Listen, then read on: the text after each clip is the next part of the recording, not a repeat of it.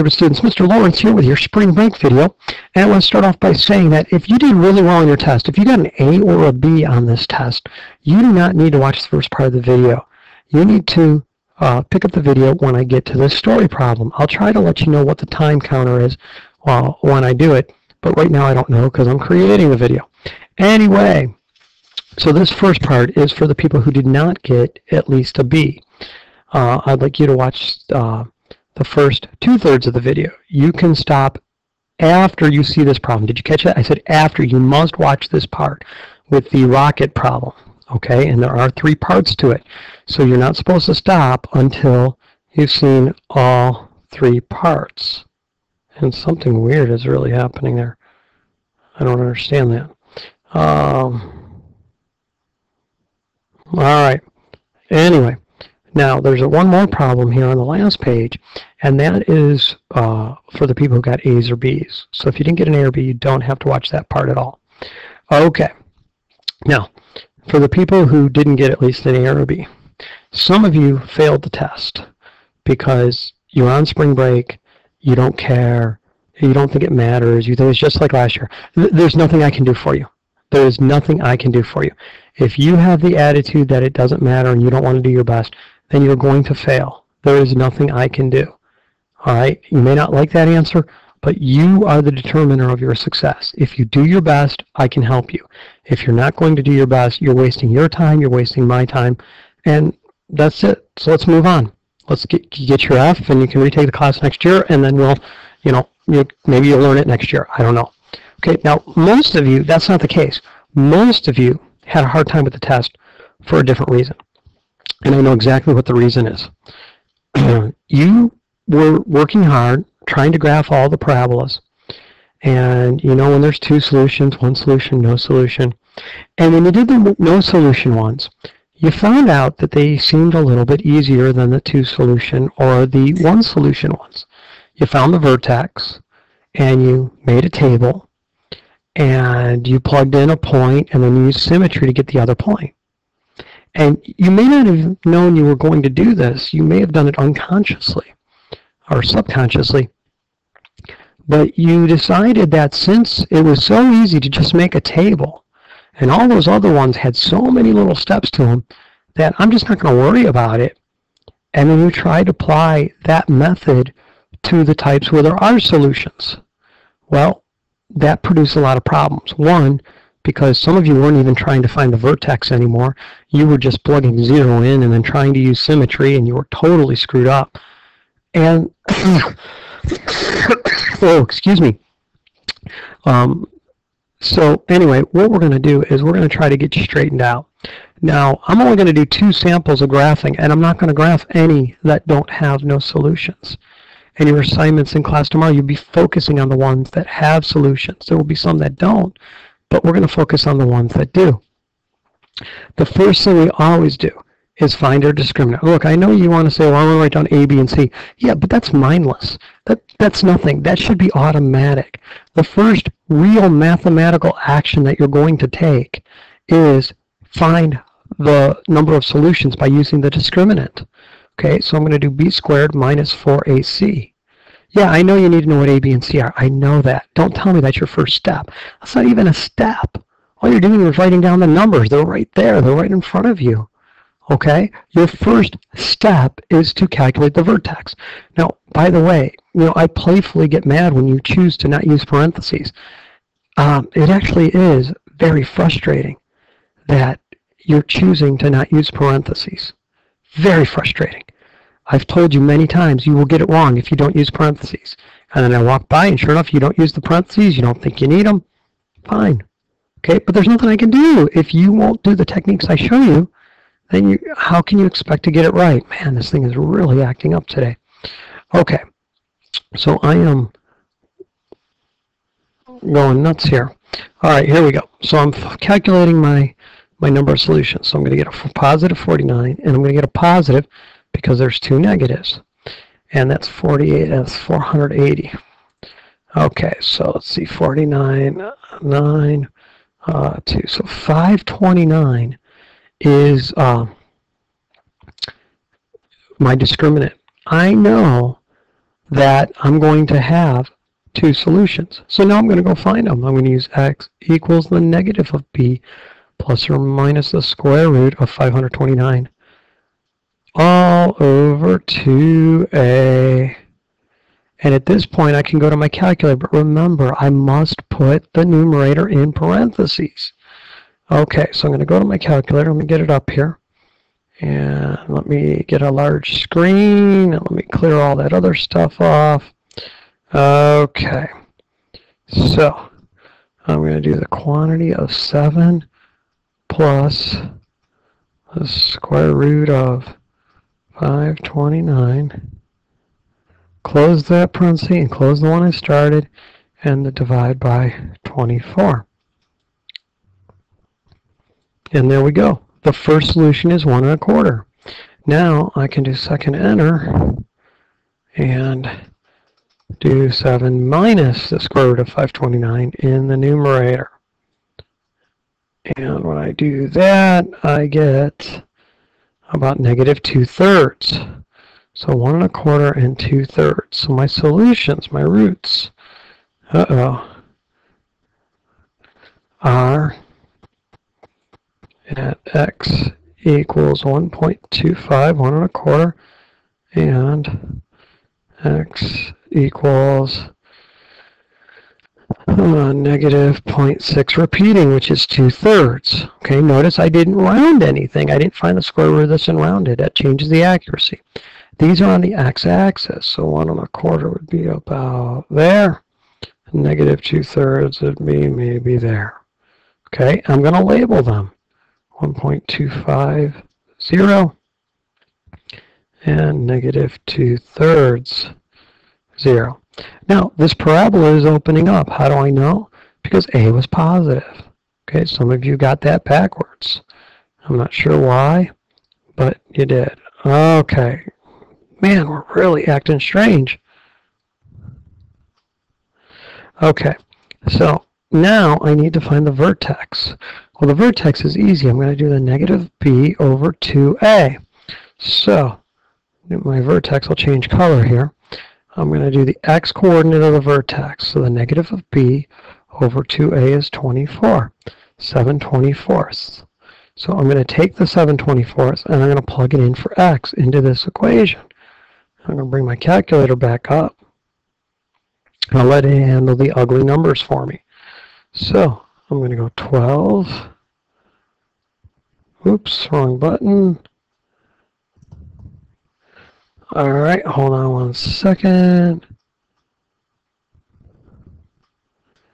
All right. So 12, and then I've got 7 divided by 24. I'm going to close the parenthesis and square it. The calculator knows the order of operations, so it'll do 7 divided by 24 because it's inside the parenthesis. Then it'll square it, then it'll multiply by 12. Okay, all right, then I'm going to do minus 7 times 7 divided by 24. And then I'll do minus 10.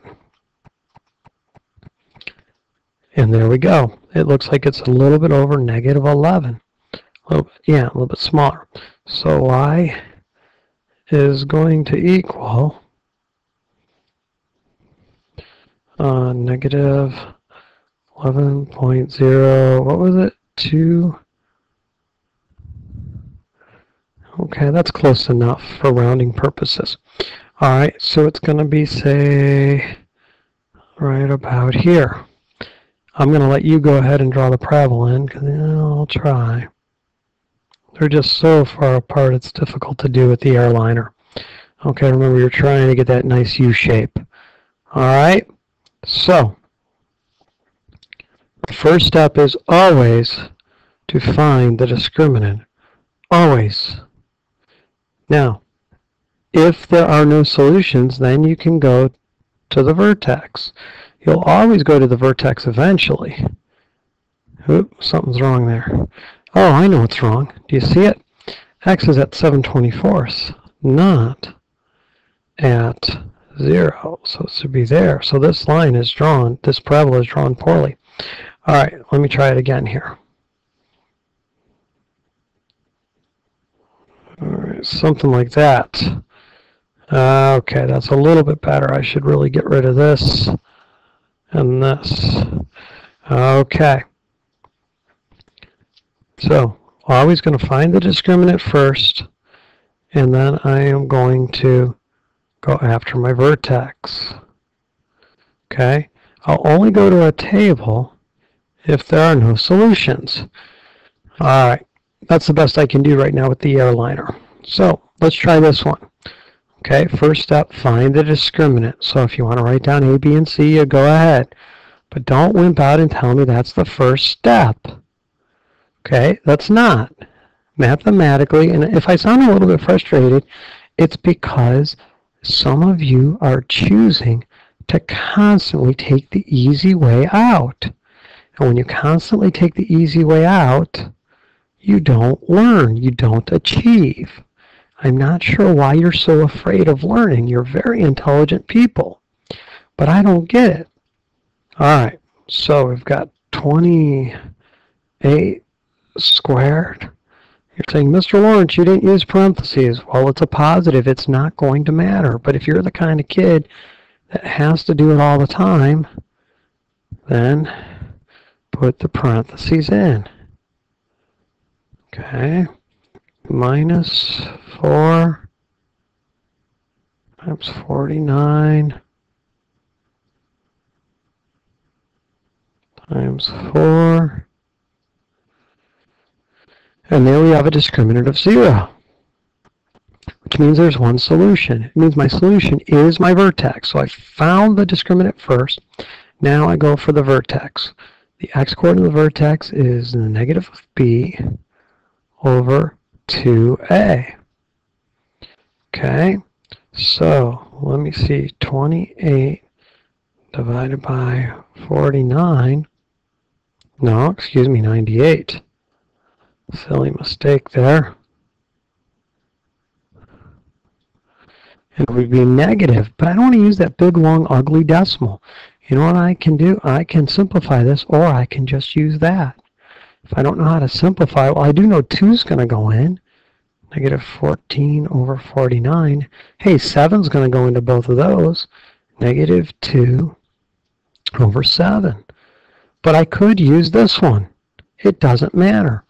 Watch. I'll use both, and you'll see I get the same answer. I'm going to go 49, quantity of negative 28 divided by 98, close it, square it, uh, plus 28,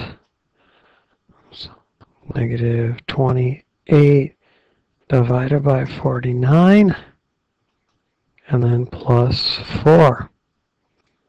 And look at that, I got negative 8 for an answer. Now watch what happens when I go 49 times negative 2 sevenths. Oops, not 27. 2 sevenths. Don't forget to square it. Okay, plus 28 negative 2 divided by 7 uh, plus 4. Uh-oh, something's wrong. I got 0. Where is my mistake? I should have gotten the same thing. Hold on one second. Okay, I found my mistake. I think I keep mistyping the denominator. I've got 48 on the brain. So here you can see I retyped the first one.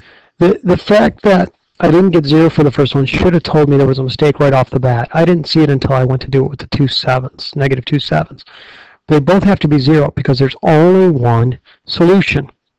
So I think that this should produce zero when I plug it in now. And there we go. I do get zero. So you see, I did get the same thing other than my silly error.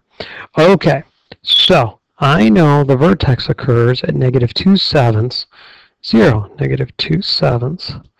0 is my vertex. So maybe right about there. Okay.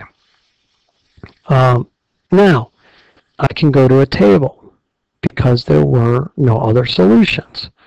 And I know that the negative 270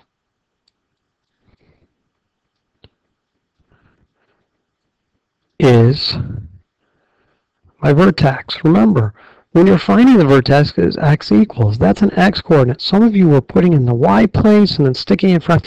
It doesn't make any sense. Don't change the formulas. It's x equals negative b over 2a. You're getting the x coordinate of the vertex. Okay, if there's only one solution, your vertex must be sitting on the x-axis.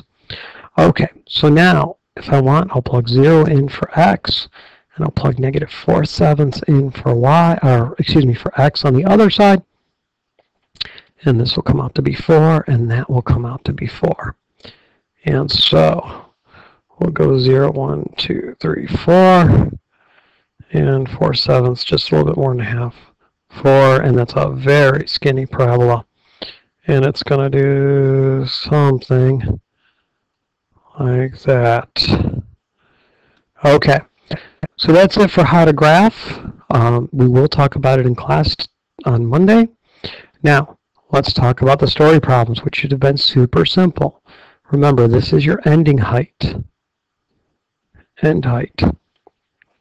T is always your time. This is your starting velocity. And this is your uh, starting height. All right.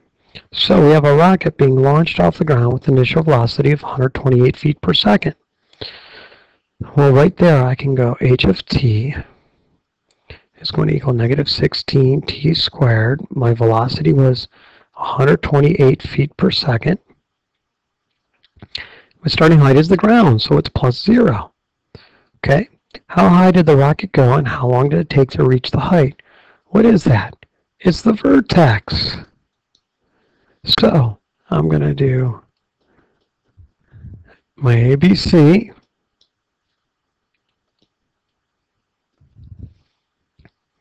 And I'm going to do t is equal to negative of b over 2a.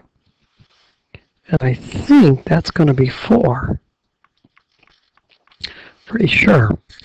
All right. So it reaches the height in 4 seconds. I actually got the second question answered first. How high does it go? Well, I take the 4 and I plug it in for t.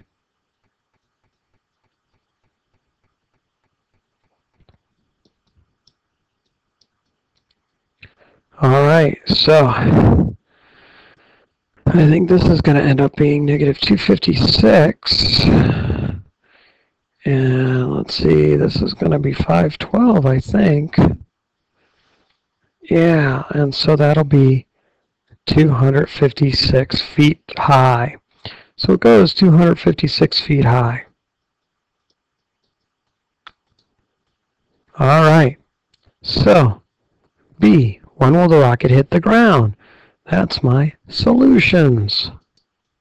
So I'm going to use the quadratic formula. So I'm going to do t equals the negative of b plus or minus the square root of b squared minus 4ac all over 2a. And so when I simplify this, negative 128 plus or minus, this turns to 0. The square root of a squared number is just the number itself. And that's over 32, and it's negative. So I've got two answers here. I've got negative 128 minus 128 divided by negative 32 which will be 256 divided by 32, which I think will be 8. I'm going to check that. Pretty sure it'll be 8. Uh, negative 28 minus 128. Then I'm going to divide it by negative 32. There we go, we got 8. Okay, and then my other solution is going to be t equals negative 128 plus 128 divided by negative 32, Well, that's 0 over negative 32, which is 0. Now, it starts at 0, so what I found was the time when it started, but I don't care. This is the other answer. So it'll hit the ground in 8 seconds. Okay, last part is, when will the rocket reach a height of 160 feet? H-I-G-H-T, sorry about that. Height of 160 feet. This 160 feet becomes h of t. I'm stopping the problem when it's 160 feet in the air. So I can find out what time it is. Then I get it equal to 0.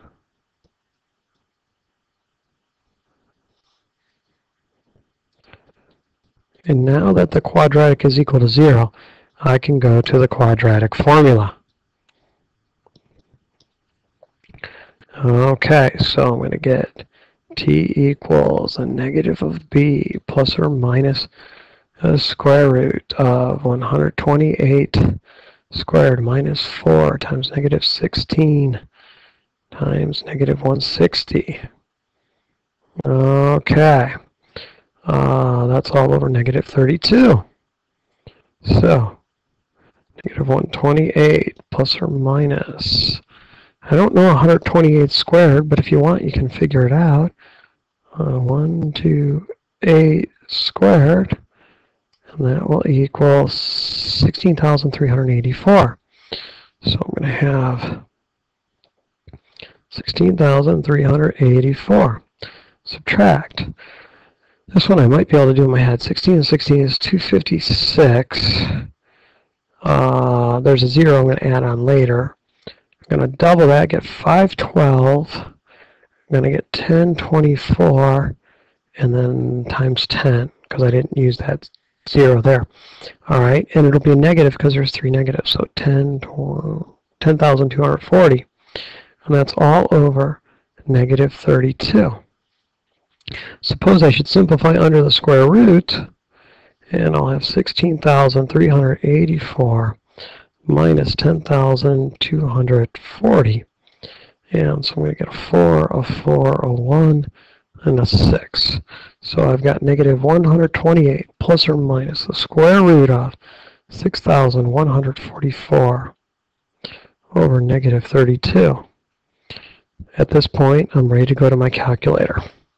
So, putting the numerator in parentheses. Here, let me clear all the screen off here. Okay, putting the numerator in parentheses, I'm going to put negative 128 plus the square root of 6,144. Close the parenthesis for the square root, close the numerator, divide by negative 32. And I get an answer of about 1.55 seconds. Then my other possibility is going to be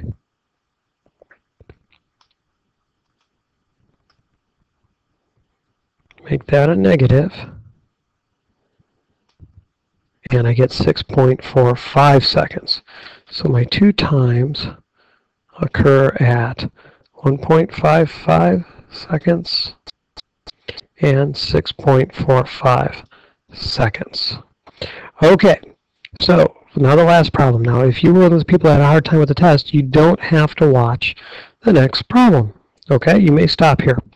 All right, so a rectangle has a perimeter of 149.2 meters and an area of 618.45 meters squared. Um, so there's two equations here. Perimeter is twice the length plus twice the width. That equals perimeter. So my first equation is 2L plus 2W, and that equals 149. Oops, that doesn't look like a 4. 49 and 2 tenths. Now area can be used as length times width, right? So this equation becomes length times width and the area is 618.45. All right, I'm going to solve this equation for either L or W. Uh, I think I'll solve for W. So I'm going to rewrite it. 2L plus 2W equals 149 and 2 tenths. I'll subtract 2L from both sides. Why am I doing that? I'm listening to Sadao. I'm trying to get the W alone.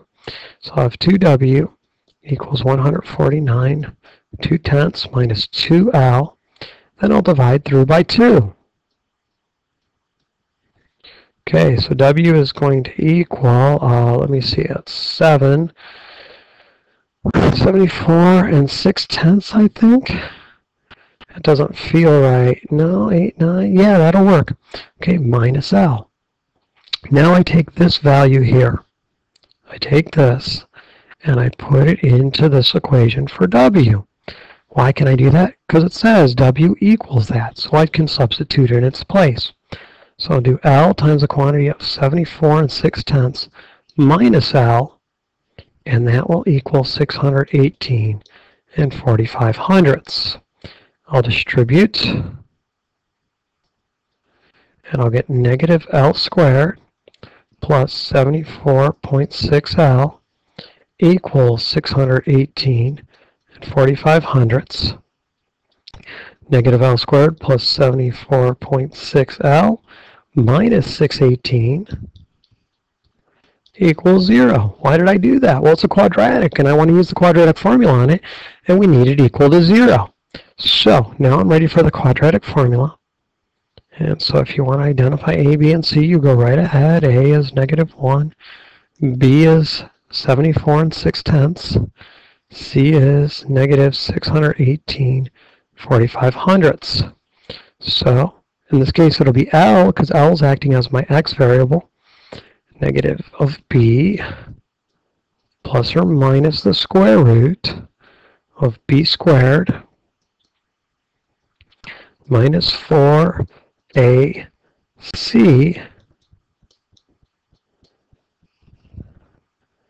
the whole thing is over 2a. So simplifying this as best I can before I go to my calculator. This is going to get ugly, but the cool thing is the answer is going to come out easy. So I'm going to square 74 and 6 tenths. I don't have any cool tricks for that. So 74 and 6 tenths times itself is equal to 55, 65, and 16 hundredths. So we're going to get 55 65 and 16 hundredths minus, how do I know it'll be negative? Because there's three negatives being multiplied. 4 times 618. So 4 times 618 and 45 hundredths. All right, 2473.8. 2473.8. The whole thing is over negative 2. If you think you're bored, my daughter is here watching me trying to understand what I'm doing, and she just yawned. So I think she's a little bored too, and now I can't put that down. Okay. All right, there we go. I need to do those two numbers, the difference of those two numbers. So 55, 65.16 minus 24, 73, and 8 tenths. And that means my or the yeah, my discriminant is 3091 and 0.36. 3091.36. So I'm going to have negative 74.6 plus or minus, and I can't remember what that was. Uh, 30, 91, 36. So 30, 91, 36 over negative 2. Okay, now I'm going to go to my calculator at this point, and I'm going to put the numerator in parentheses. So let me clear all that other junk out of the way. Okay, well that's not going to work. Alright, so I'm going to go with the quantity of negative 74 and 6 tenths plus the square root of what was my discriminant? 30, 91, 36.